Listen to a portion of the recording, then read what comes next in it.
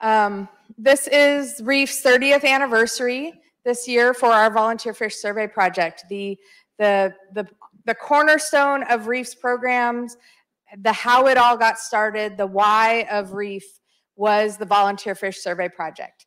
And um, so we're really excited to kind of take you through a little of how we got here these last 30 years and a little bit of where we're going in the future. So I will take where? What? You still have it? The, no? Mm, that's right. I'll just use that. So how it all started was uh, this. This is actually a little after it started, but I love this picture. That's it. And um, so Paul Humann on the left, Ned DeLoach on the right, and the amazing Miss Anna DeLoach in the middle, um, keeping them together, as I suspect she's done many a time. Um, so as many people know, um, Paul and Ned are our Reef founders. And um, so, yeah, we've got Paul actually coming in right now. So, is that it? Battery came out or?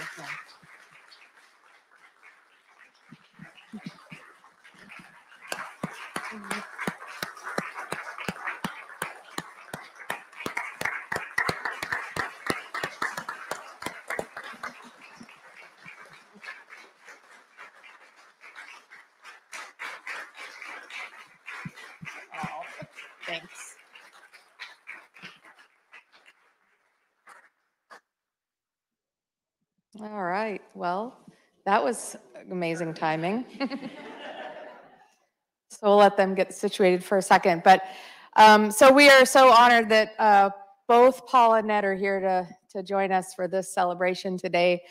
Um, it was their vision. They're often we talk about, you know, just as like kind of a an amazing thing to think about the the thoughts that that kind of one little thing led to another um, so long ago that here that brought all of us together right? We are this we always talk about this the reef family and the community and the the kind of thing that that um, what a gift right? That these two guys were able to give us. So we're it's such a such a celebration. So um, if you think about mm, maybe not um, back in the beginning, so here's a, a very young Ned on the left and a very young Paul on the right. Um, way back in the day, I think Paul is there. I think that's in the Springs, I think, and I think Ned, that's uh, maybe in the Bahamas. I'm not sure where you said that that picture was taken. Looking pretty stealth stealthily there.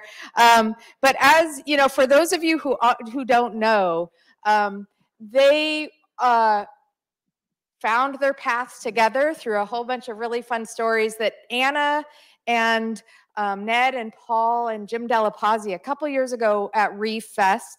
They did a talk called the Heady Hunt for 5,000 Fishes. And that is that goes into a lot more. I'm just going to give you a few minutes of this, but if you want to know the whole story, we have that talk archived on our Facebook or on our um, YouTube channel. I recommend you go watch it because it's really great. Anna dug through all of the old notebooks and has a, have a bunch of slides. But this kind of shows the beginning. Uh, they decided they were going to make a fish ID book for divers and snorkelers. It wasn't going to be the scientific guide with drawings and organized by scientific rules. It was going to be for divers and snorkelers. As they were working on that first book, they realized how little was really known about fish distributions, fish abundances, fish populations. And they kind of gave some thought to, well, that's pretty silly because why can't we've got thousands and thousands of divers and snorkelers in the water every day? Why can't we tap into that? Do for fish what birders have done for birds and the, the understanding of bird communities for over a hundred years. The Audubon Christmas bird count started with a simple idea. Some people realized bird populations were going down. We should figure that out. And they went out and started every, you know, Christmas going out and counting birds. And that has grown into a huge field, not just in for birds, but for insects, for stars, a whole field now of what's broadly known as citizen science or community science. And that is how the Volunteer for Survey Project basically came to be. But how do you go from that simple idea, seemingly simple, that Paul and Ned had to this amazingly successful and impactful program that we have today? Um, you know, one of the key things that really was the success was um, Mr. Ken Marks, who's sitting up with Paul. Woohoo! Um, so uh, Ken, uh, here's a fun old picture of him talking to Ned on a dock. Um, but early on, Paul and Ned found uh, Ken through, you know, diving community, started talking about their idea. And Ken had a computer background. And so he was kind of the, you know, how did how did the, the success happen? How did we get to where we are today? And there's a couple key things. And and Ken was one of them because what Ken did was he transferred that notion of are we just going to write it on a napkin and send it in somewhere you know write it on at the bar at the end of the day? Or maybe you know i think for a while there was talk of floppy disks. We could have them put it on a floppy disk and mail that somewhere. And ken said no I, I you know you should use optical scan forms. There should be a way where people can can report what they're seeing in a systematic way that could be easily transferred into a computer and stored and so that kind of is how it came to be. And a couple years ago, Ken had saved all of the, the correspondence of, um, and so here's an early, Ken had called NCS, which was the big company that did the bubble forms, the scan forms that we all took our, our tests on when we were younger. They had some phone conversations. She wrote back to Ken and said, you know, this is before email, so this is all like postal mail right? um, you know, here I checked it out. Here's some ideas. And then there's a lot of back and forth that Ken had with them about, okay, yes, these are the fields we need. This is what it should look like. And then here's a letter on the right from Paul to Ken saying, yes, this is at long last. We're ready to finalize the bubble form. Um, you know, there's some the, oh, pages and pages of these are some last minute changes we're going to do. And, and from these correspondences over a couple of years, led to a data management system that that has allowed us we don't use scan forms anymore but it laid the groundwork to ensure that when people did surveys the data would be cataloged and saved and accessible in a relatively quick turnaround. It wasn't just going to go in a shoebox under someone's desk. And that was that's i think one of the keys the first keys. A second key is that um, they got they had a bunch of help um, in those early days, and so um, they had collaborated with the Nature Conservancy and the fisheries, NOAA Fisheries, and the University of Miami because they wanted to not just create a program, they wanted to create a program that was going to create data that could be useful to the scientific and fisheries um, communities. And as part of that, the Nature Conservancy got involved and provided the effort with a couple of young, enthusiastic uh, interns. And this was the summer of 1993, so 30 years ago. So this is me on the right. And then that's my husband, Brice Semmens, who's going to take over on this talk in a little bit. And then Emily Schmitt, who uh, is our was the three of us were interns together that summer. And then Eric is there on the left, and Eric's here um, he's uh, Ned's son-in-law and also the one of the heads at New World Publications now. And they're where we are 30 years ago. Little did we know here we would be.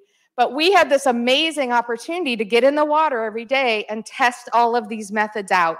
Try out, you know, are those single, few, many abundant? Is that going to work? Can you teach someone who knows nothing about fish enough to be able to do the surveys? So that was our task all summer long. We got to go diving every day. It was pretty amazing. So we did that.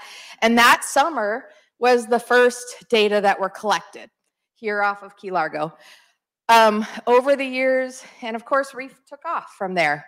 Um, we have, uh, often I say, we've achieved world domination. So um, we've got now, you know, 1993 started the yellow region, the tropical Western Atlantic, and through the years, we've expanded that survey program all over the world um, to these regions, you can pretty much almost in any ocean jump in the water, snorkel or dive, and do a reef fish survey.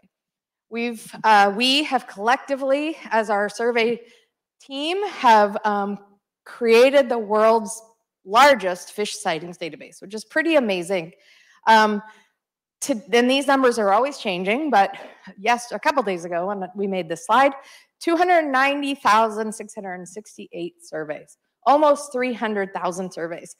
Surveys on average, it depends, but they're generally, it works out to be about an hour a survey. Um, some shorter, some longer, but it's so it's about 300,000 hours of in-water time of data collected that would otherwise not be collected.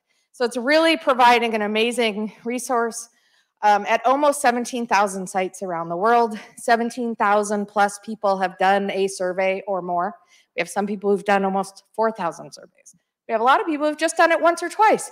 And that's really great because those people have experienced what it's like to to see a little differently, to look differently underwater. Once you do a reef survey, it's very different. You you experience the underwater world in a very different way. And that's the goal. That was, you know, at the base, that's what we want is for people to have a little bit more engagement, a little bit more appreciation, a different way. Whether they keep surveying or not, they're going to take with that that experience forever. So um, it's quite a success.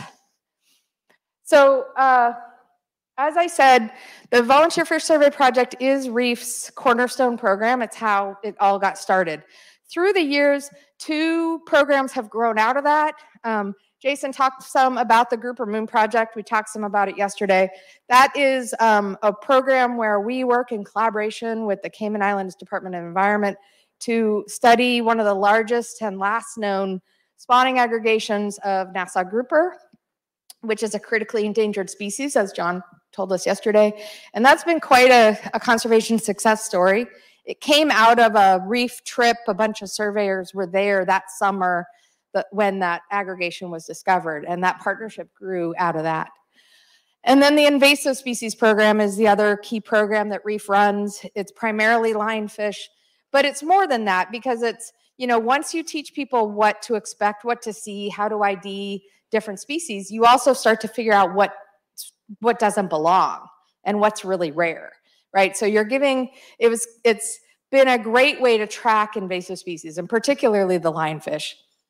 And then overarching all of our work, of course, is education. Our Explorers Education Program, I think Moose talked to us a little bit yesterday at the seminars about that. And we do a lot, of course, education with divers and snorkelers. That's how it got started. But a lot of in-person programming for everyone from kindergartners to, you know, lifelong learners, grandparents, and everybody in between at our campus here in Key Largo. Um, so what I'd like to do in the next couple of minutes is just run through, you know, so Paul and Ned had this idea, Ken helped make it happen. Some other really um, great volunteers in the early days who helped us build the you know the first website and the database and all these things that can help facilitate but did you know what is what are the data being used for beyond the great um, engagement that's happening with participants like i was saying before uh, there have been over 150 scientific publications that have used the reef data that have included the reef data it is also um, publicly accessible on our website and all that. But um, so I'm just going to run through a couple of these wide examples, and then I'm going to turn the mic over to Brice, and he's going to tell us a little bit about what's to come. So um, the first one, this is just uh, that first summer we kind of solidified the survey method, and Emily Schmitt, the first author there, and her advisor Kathleen Sullivan at the University of Miami, went on to publish the, the method. So when you tell people, what are you doing? Oh, I'm swimming around. I do the roving diver technique. That's what the official reef method is called. It's actually, this is where that, that's the original paper that described that method. It was put in the Bulletin of Marine Science in 1996, three years later. A couple years after that, about 10 years, um, that this was the first notion that reef data were really going to be um, uh, useful in tracking non-native species. This was actually just before lionfish really took off. It was, uh, we were realizing that there was a whole hotspot of non-natives, mostly Indo-Pacific fish that were being found off of the east coast of Florida primarily. And Brice at the time was in graduate school by then, and a bunch of his lab mates and myself uh, wrote up this paper that looked at that hotspot that was coming up. Reef surveyors were reporting all these Moorish idol, emperor angel, things that didn't belong in the Caribbean, but were all off the west coast of Florida. So, you know, whereas a normal uneducated diver might swim by and just, I mean, it just looks like another angelfish. It looks like a butterfly fish, you know. But reef surveyors were noticing, wait a second, that's not supposed to be here. And so being able to put this out, this is actually one of the highest cited reference papers that Reef has ever put out, this paper. Um, then, of course, the lionfish happened and expanded throughout the region over the next couple of decades. The reef data, because it was already being collected before the invasion and all throughout the spread of lionfish through the Western Atlantic, is definitely the most, um, it's the largest resource of data for looking at that spread through the years. And this is, there's been a bunch of papers that have been published, but this was actually a pretty recent one that looked at specifically the reef data, the role of citizen science in researching the invasive lionfish across the Western Atlantic. This was published in the journal Diversity just a few years ago, actually.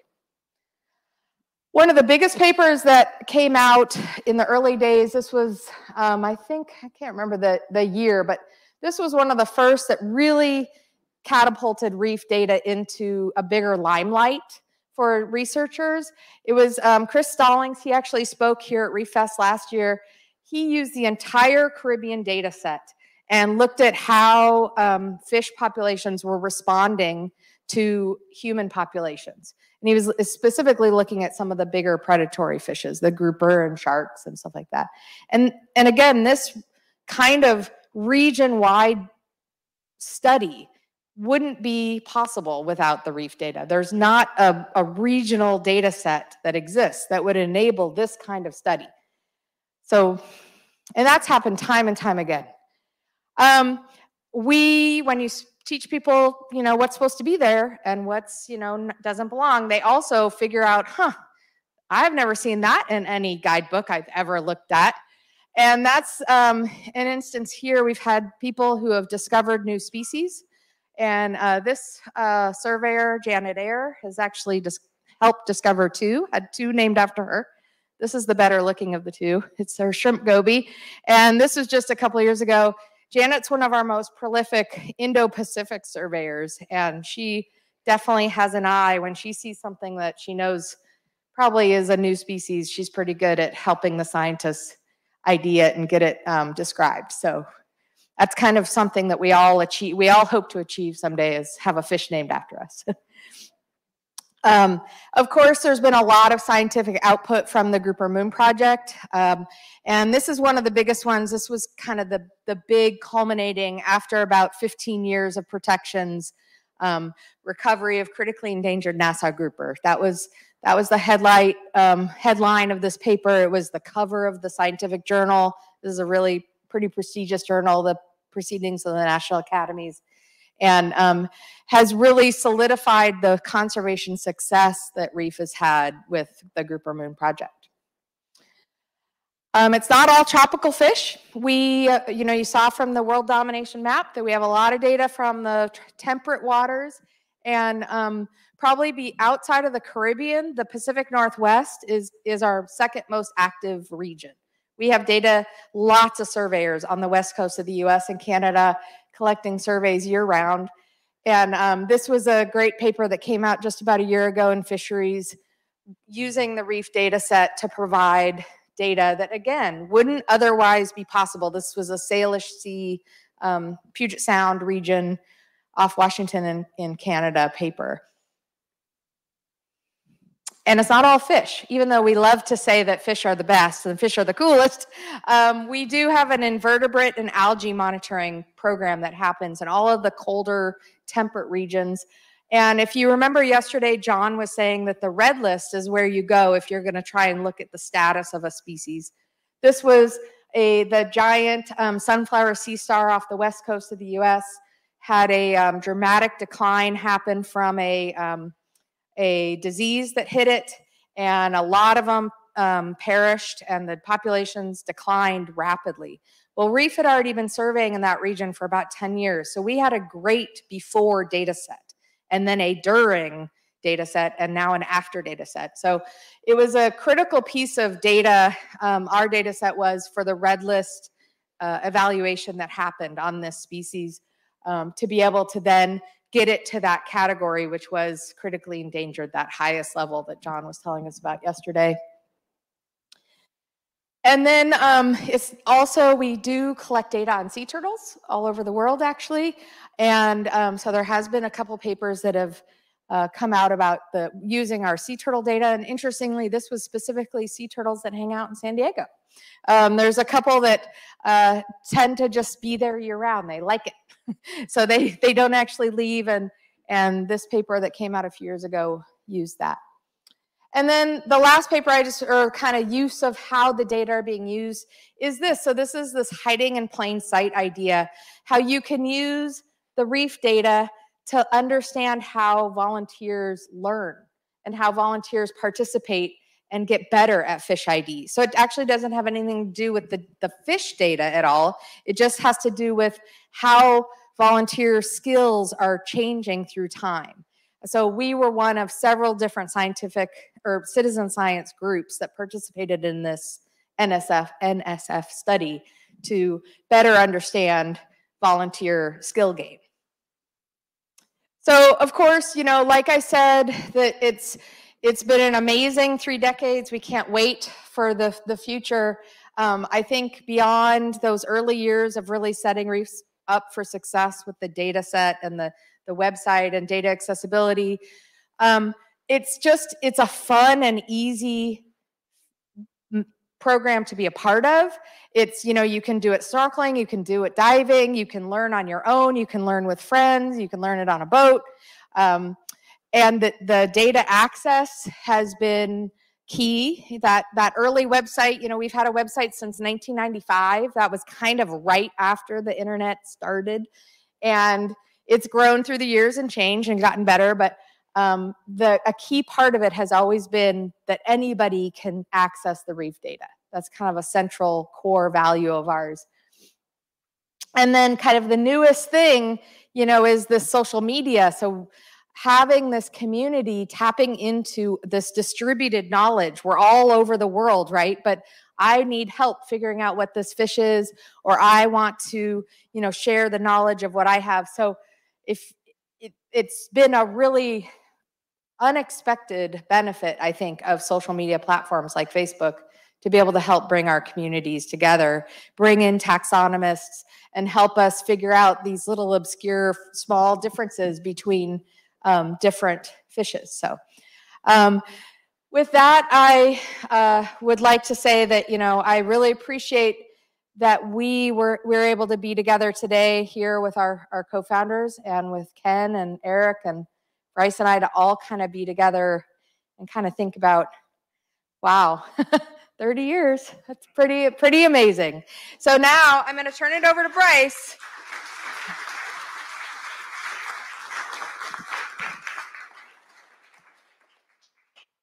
Okay, thanks, Christy. Um, how long do I have? 15 minutes. Okay. don't, don't be careful. Be careful. Here there be dragons. Okay, so um, yeah, so so I'm going to kind of riff off of what where Christy left off, and I'm going to try to walk us through the present and into the future of of uh, the types of data that we as citizen scientists generate for Reef and and for the resources that we we care a lot about. Um, I, I'm going to start with where Christy left off, which is this notion of collect, uh, connecting the data that we generate through our reef surveys to, uh, to the types of data that our marine resource managers need in order to make informed decisions. And, and there, there, I would argue there is no better way to do that than to try and connect or to do the analysis necessary to see whether or not there is, in fact, a pattern that matches between the reef data that we've generated and the types of data that, that gold standard fisheries monitoring programs that are federally funded by the government uh, support. So um, I'm going to walk you through a brief analysis of that. I'll just do the arrows. I'm technologically challenged. Um, and, and let's start with, with where, where the data comes from. So how, how many of you here have done a reef survey in the Florida Keys? Okay, most of you. Most of you. And how many of you have had this experience? You get done and you probably spent some large portion of time not only poring over your slate and over your survey and probably some of your photographs and ultimately your computer where you had to go through this process of, of, of nowadays bubble clicking, radio bubble clicking in your data. You have this experience where you think to yourself, I mean, does this really tell us anything? Does this, I mean, probably this tells us something, but what, like, how much am I making a difference here? What, what is it that I'm doing in terms of reporting these data that's making a difference? Can these people, look at their smiling faces, can, can this boatload of lovable yahoos, let's call them, can this bo boatload of yahoos actually generate something worthwhile? And, and uh, I, I mean, I'm a believer, right? So I'm going to say yes, but we can, we can actually, we can formally set up a hypothesis, we can do the science, we can connect our data that we generate, these Yahoos generate these data, and we can see whether or not and to what extent it matches what the federal scientists do. What a huge, great heaving gob of money can do to monitor a resource. Can we do something similar? And I'm not kidding about that amount of money. So in this part of the world, we are lucky in that not only do we have lots and lots of us that have collected over the last 30 odd years now data from the Florida Keys. Over that same stretch of time, there is a large federally funded mon fisheries monitoring program called NCRMP, the National Coral Reef Monitoring Program, that has generated very rigorous data from the same region during the same window of time. And just to give you a flavor for, for the amount of effort that, that federal scientists put into this effort, just in 2020 and 2021 through their monitoring program, uh, they did both benthic monitoring as well as fish monitoring. They sampled over 800 sites, uh, nearly 300,000 square meters of area, well over 1,000 dives, closing in on 2,000 dives, and recorded uh, the better part of half of a million fish. So a huge survey effort. So we're going to take those data over that same window of time, and we're going to we're going to do some math. Um, the, the details of the math are are unimportant. Um, except to say that, that the point of, of this math is to allow us to connect uh, it, the, your survey, the data that you report for a given species, whether or not you bubble single, few, many, or abundant, or importantly, you don't bubble anything at all because you did not see the fish. To connect that particular observation to the types of models that are used in stock assessment scientists, science. That's what we're doing here. So each one of these responses here, these abundances, A, is what you reported in your survey on that day that you did a survey on molasses reef back in 1996. Okay, and we're gonna we're gonna account for these other factors which we know to be true. Things like the year that you collected the data, the type of habitat you happen to report on your slate, uh, the site that you were on, maybe uh, the diver that you are, your individual diver profile. Because, for instance, I on the same reef at the same window of time will happen to report a lot more bluehead wrasse than Christy is because I just tend to see wrasse better. So we're going to account for all of these different effects in the same model. And importantly, we're going to connect the data stream that is reef with the data stream that is the federal survey. Those are the two X's there, the two X's, X1 and X2, to an observation process in a multivariate way. So we're going to put these two things into play into the exact same model. And then the final thing down here on the bottom right is going to set up a covariance structure. Okay, what that really means is we're going to ask how correlated are these things? How correlated are these time series? Okay. Big picture. First, this, this, this, map, this graph should make you feel good. Each of these dots here represents an individual species across the entire window of time. On the y-axis here, you're looking at the mean encounter rate of individuals from reef surveys. And on the x-axis, along the bottom, you're seeing the mean encounter rate from the roving visual, uh, excuse me, the yeah, um, the the reef visual census. That's the that's the type of cylinder survey that the federal scientists do. And so what you'll see if you squint at this is a is a is a correlation. So in general, when reef surveyors see relatively abundant species, so do the federal scientists and vice versa. Okay, so that's step one that make, should make us feel pretty good. Okay, we're doing okay. We're reporting what the federal scientists are recording. If we actually then take our full-fledged model and we plot those time series through time, so take a look at the top left, that's black grouper. The red line represents reef survey estimates of abundance through time. So abundance is on the y-axis, and again on the x-axis here is years. And the blue represents the federal data. And what you'll see, I think, if you're squinting at it, is that they track remarkably well, remarkably well. You can see the ebb and flow of that data over time. Same thing for spotted goatfish, same thing for banded butterfly fish, and to a lesser extent, some of the other parrotfish species. So despite the fact that I think often us as surveyors, we feel like, what are we doing? What, what is this survey that, that I'm producing right now? How much does this actually make a difference? But collectively, as an aggregate, through those thousands of surveys, we generate powerful data. The types of data that match or are better in some cases at tracking trends through time than what would what it would take to fund a, a very large, expensive long-term federal monitoring program. So we can make a difference just through our individual efforts because we're contributing to this larger project. And why does that matter? Well, you get to something like Goliath grouper, and this has become important here in, in, in South Florida and in the United States in general. Why? Because, well, it recovered that's a good news story, um, but it's got a tint of bad. And the tint of bad is um, there's been a lot of growing pressure to, to open up that fishery because it's been protected for a long time now.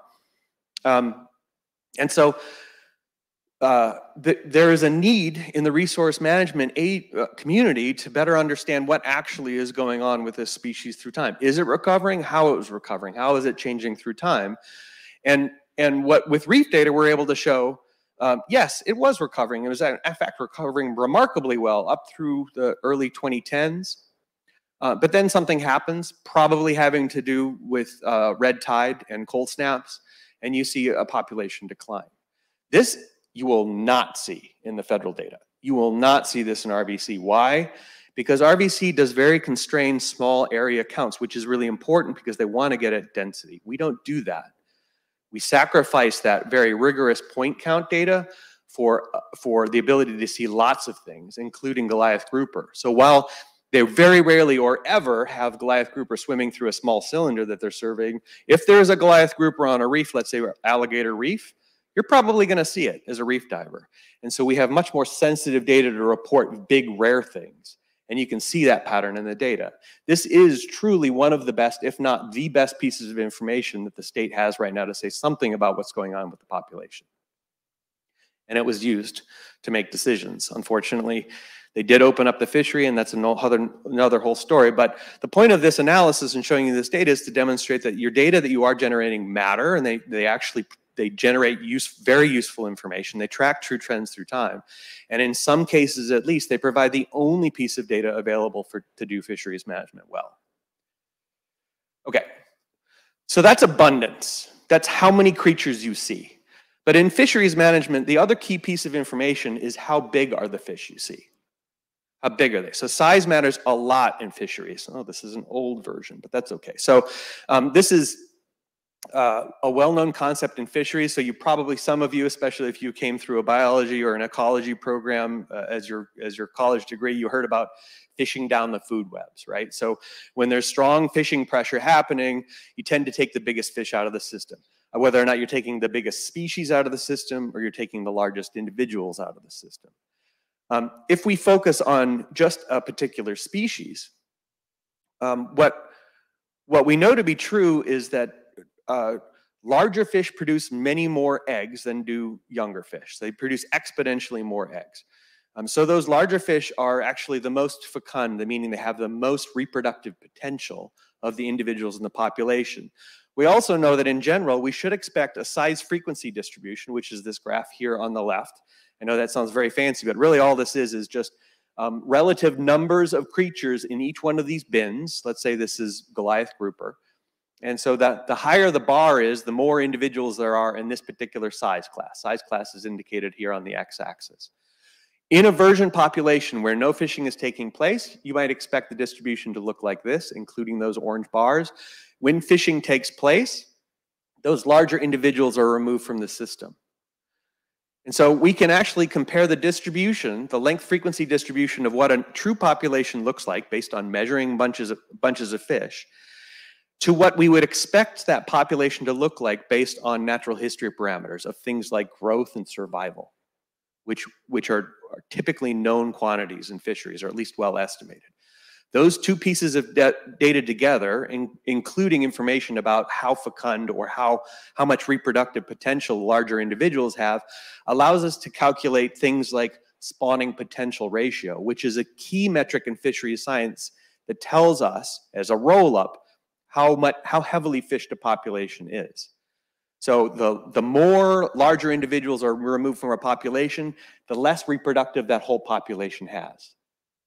We can't do that right now with reef data. Why? Because we only get abundance. We don't get size. So can we, can our community add a little bit? Can we do something new? Can we, can we help the fisheries managers to get that additional piece of information, to get that other critical piece to the puzzle of fisheries management? So we've started to do that work. Um, I'll say that the, the, the, way that this is done with those federal scientists that we talked about, this is how they do it. So um, they'll go down and they do visual estimates. So here's a diver holding out a pole with a T, and then at the end of that T is a known distance of PVC. And I use that then to eyeball the size of that, in this case, red grouper, and say, okay, that's probably 42 centimeters. And I write it down. Okay, that's, that's how the feds do this work. Let's revisit our boatload of lovable yahoos. I, this is an older version of this talk, which is really unfortunate because I think it's going to matter here in a little bit. Um, dang it. Okay. Um, okay, so can these guys generate the information that, that, that we need to get at size frequency data? Ah, well, I wanted to say um, is you'll note in, the, in that boatload of, of, of reef divers, every single one of them has one of those, right? How many people here have uh, a dive camera? and dive with it regularly. How many of you use those dive cameras to do fish ID because your eyeballs aren't the way they used to be? Okay, yeah, you and me both, friends. Um, so born, and that was, if I'd asked you that question 10 years ago, that's not the answer, right? So this is rapidly, rapidly evolved. Most of those people, I would bet, have a TG, right? A TG camera. And the reason is um, they take great pictures. It's a waterproof camera, and then it's inside a waterproof case. For people like me, that's great because because there's you know half again the chance of that camera flooding because of, of falling hair or whatever. So TGs and they're cheap. That's the other big advantage of them. So they're they're everywhere. Can we can we leverage this device that almost every reef surveyor has now in order to capture length frequency data? Um, and what we've come up with, we started working with a team of engineers at, at UC San Diego, and we've generated this device right here. When this is just simply your TG, now it's got a, um, a small dome port on it, a fisheye lens, and on the top of it, it's got a laser. And that laser is going to help us to get at sizes of fish. How?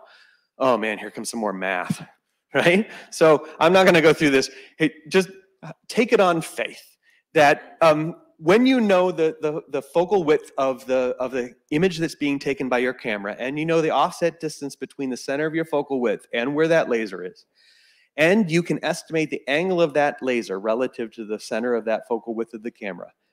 If you can do all of that, if you can do all of that, you can calculate Z. And Z is the distance of the fish or the place where the laser is hitting to your camera. Right? All you need is one laser mounted in a hot shoe on your TG.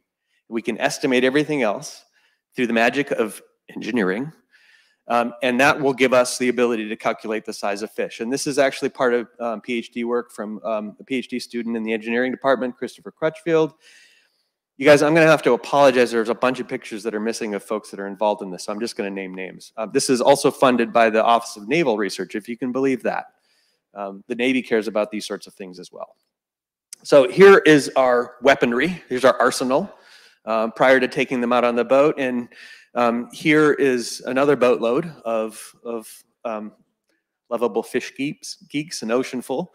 Um, so we've got Jen in the middle. Uh, Jen is uh, a postdoc on this project. She's kind of leading the effort. She's in the room, probably. Yes, she is. There she is. Um, and Jen is is helping to kind of coordinate all this effort. We've got Dylan Appel. Dylan's in the room. David is Dylan's not. David is not. Okay, so um, uh, reef reef connoisseurs all around, and um, so we we jump in the water and we collect information using these cameras by selecting a subset of species for which the the, the state and feds uh, need quite a bit of information that is currently lacking here's an anecdote.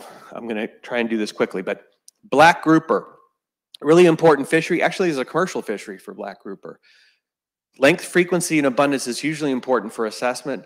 Guess how many records of black grouper length there are from catch data in the last year or so? Far less than 100. Far less than 100. Something in the ballpark, I think of what it was like 20 or 30 remarkably low numbers of, of catch data. So if it, so any data that we can generate on that species is useful data for fisheries management, is useful. This is why we're doing this. So um, we, we started this effort. Here's, here's Dylan actually now using the camera underwater. So he's got, you can barely see it, but there's a hogfish in the foreground. See him right here? Camo. And there's the, there's a laser dot on the hogfish. He's doing a great job. Good job, Dylan. Uh, and this was posted by our, our funders for this project. This is the South Atlantic Fisheries Management Council. This should give you an indication of how important this data is. The Fisheries Management Council here is the one that funded this project because they view this as very, very important. And even though we still haven't formalized the process of putting all of this data into play in terms of a citizen science program, it's already been highlighted in NOAA's Federal Southeast Region Saltwater Recreational Fisheries Management Plan. They've literally called us out as, yeah, this is where the future is going for monitoring, this program. So it's, it's cool. Um, now we just got to build it because they said we had to. So, okay, so um, so stay tuned on that. We're still developing it. We're still in, there's there's a bunch behind the scenes that happens, including AI, leveraging AI to actually pull those fish links out of out of, the, of those images and figuring out how how you all as citizen science can participate in that project. Stay tuned. Jen's going to figure it all out and tell us what to do, and it'll be awesome. Good job, Jen. It's one, two, skip a few, and we're done, right? Okay, so taxonomy for the masses. This is another project for the future that, that Reef is, is starting to implement now. Um, turns out when you swam today, if how many people went in the water today? Okay, when you were swimming, you were swimming in a soup of DNA. You probably didn't know it didn't look like a soup of DNA, but you were in fact swimming in a whole heap load of DNA. Uh, from lots of different creatures, not just fish, but 100% when you were swimming, you were swimming in fish DNA. And in the last five, 10, maybe 15 years, but really more like five years, we started to figure out how to collect that water and actually interrogate it for what's in it. We started to figure that out. And um, so this science is evolving remarkably rapidly. It, it's stunning to see how fast the science is, is, is, is evolving, and we're trying to stay at the forefront of this and leverage this new science and, and, incorporate it into our citizen science. The idea here is that you've got some droplet of water, it has some DNA in it, and you can do one of two things with it. You can do what's called um, polymerase chain reactions or qPCR, or you can do next-gen sequencing qPCR on the top is going to give you for particular species, the total amount of DNA in that water droplet. And the, the next generation sequencing on the bottom there is going to tell you something about the cacophony of different species that exist in that water droplet. Okay, and we can use different regions of the genome in the DNA that's floating around that is particularly sensitive to divergences among species as the template for the library that we then use to read for the different species. Okay, so for fishes, we're going to probably use something like 12S, which is a region of the gene. And then the MiFish underneath that is the library that allows us to match the string of letters from the DNA to the species that exist in that library. Okay, but the cool thing is, if we can do this, let's ostensibly say for fish, we're not just getting the DNA from fish, we're getting the DNA from fish, marine mammals, invertebrates, bacteria, all of it is in that droplet of water. So it greatly expands our taxonomy. And you don't need to know what species of bacteria you're, the goo that you're floating around in, right? As long as you can get that, that DNA into a filter, we can figure it out. So it's, it's, it's almost like democratizing this taxonomy business, right? It just, just requires that we go out and collect the water. So we did that. Um, this Lex and Steve, uh, which the, the picture was on here, but it's no longer. Lex and Steve uh, helped us out with this project. This was down in the Sea of Cortez. How many folks have dove in the Sea of Cortez? Uh, yeah, Gulf of California. Okay, so this was from the reef trip from last year. That little puck there on their their their uh, their tank right there. See that? It's here. It's covered in a plastic bag uh, in order to avoid contamination. It didn't work very well. DNA is really sticky and there's a lot of it. It's really weird. But anyway, so we put this puck on the back of the divers and it's not like sucking water or anything. It's just literally a filter. We just put it on and they swim around the ocean with it and then we take it off and we stick it in some preservative. We bring it back to the lab. So we've done this work, brought it back to the lab, um, and lo, we get fish. We get lots of fish. So I'm going to walk through some of the, the creatures, especially for those who, who dove a bunch in the Sea of Cortez, because it, it's interesting, I think.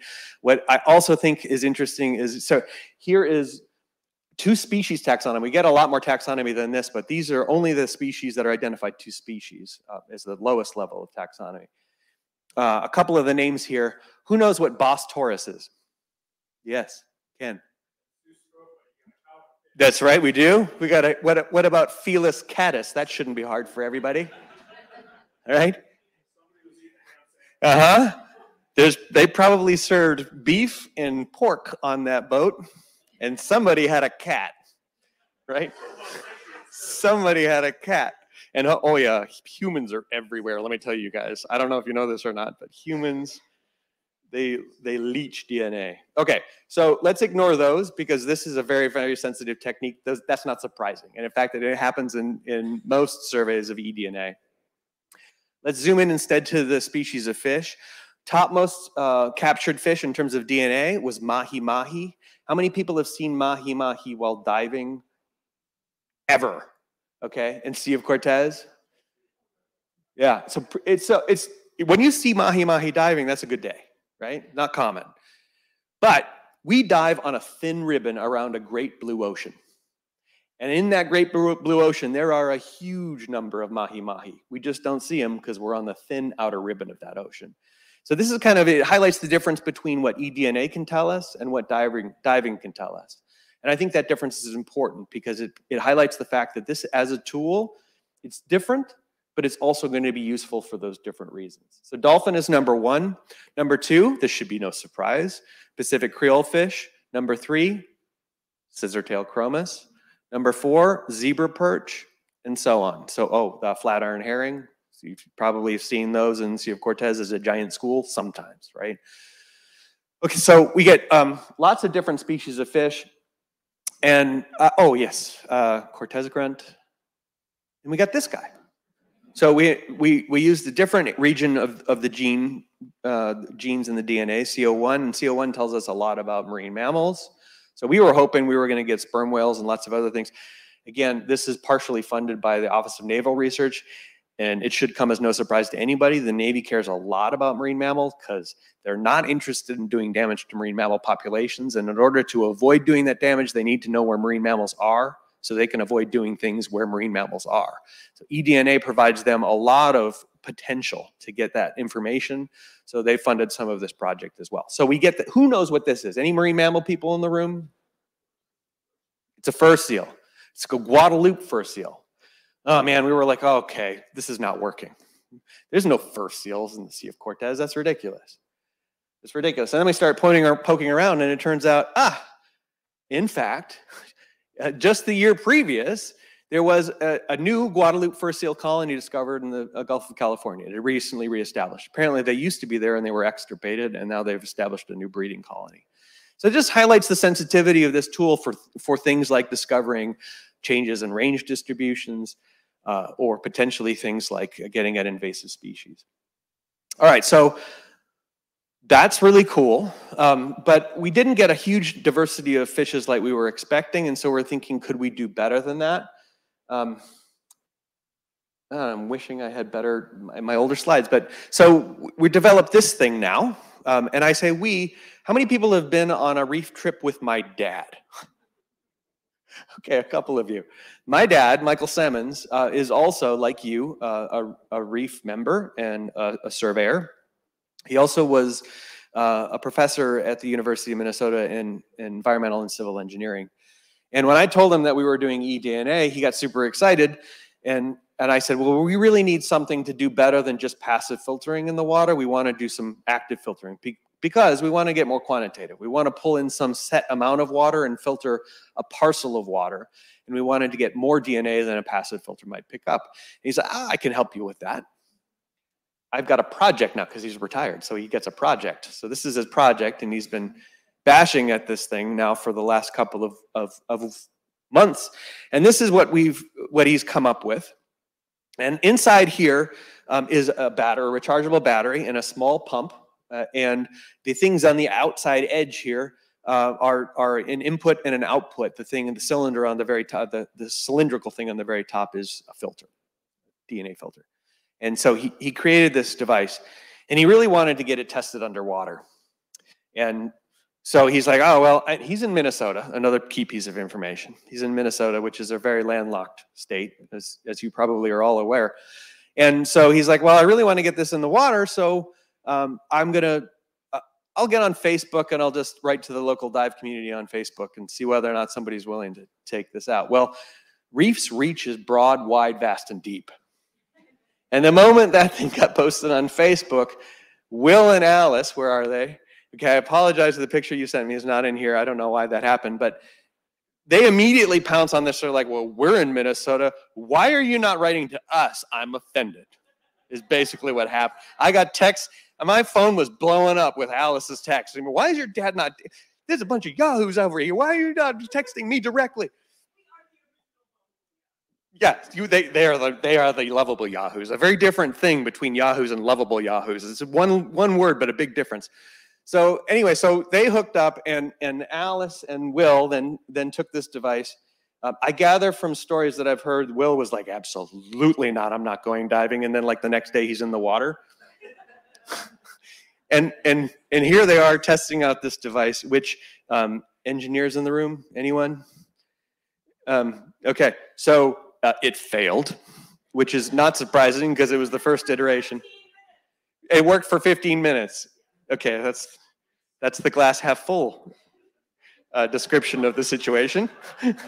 so um, it worked for a while and then it failed. How about that? Is that better? So, but we're, this is a work in progress. So we're, we're, we're actively trying to improve on this uh, approach, but with, with the ultimate goal into the future of, um, of doing a better job of surveying the, the ocean with the new tools uh, that are coming online. So the last thing I'll, I'll say is that um, why are we doing all of this? Why are we trying to evolve? Why are we trying to change? And we, we exist right now in this window of time where Reef has been here for 30 years, and that's awesome. That's amazing. What does the next 50 look like? What's the next 100 look like? Right? Let's hope that, that reef is around for that much longer. And in that window of time, we're going to get ocean temperatures changing by roughly 2 degrees C, more or less here. Some places a lot more than that. We are in a window of time right now where things are changing faster than they ever have. And, and it's ramping. It's ramping up.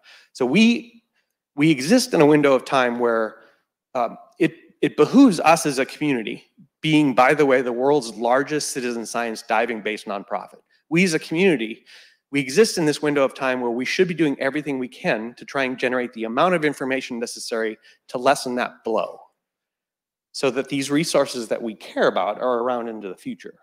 And that's so that's what we're trying to do here. We're trying to adapt and evolve the way in which we generate these data to meet the future needs so that we can continue to enjoy the things we love into the future. Cool. Thank you.